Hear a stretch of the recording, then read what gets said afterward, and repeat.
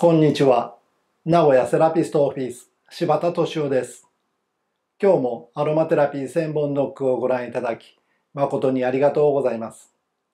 ではまず20秒のシンキングタイムをどうぞ。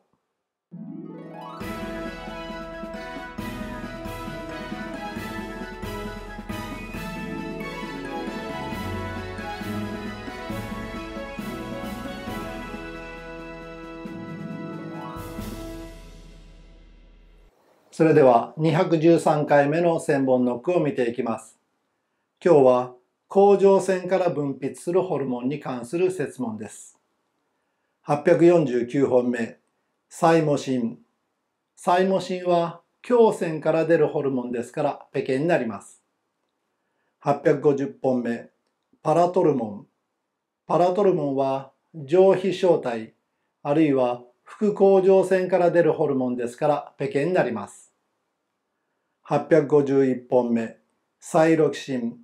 これは甲状腺から分泌されるホルモンですから丸になります。852本目、カルシトニン。これも甲状腺から出るホルモンですから丸になります。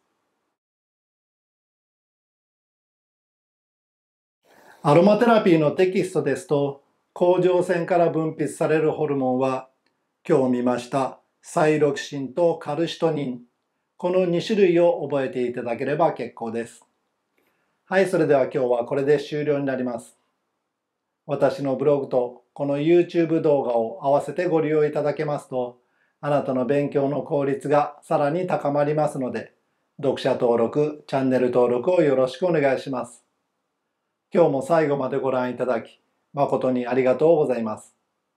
ではまた明日お会いしましょう。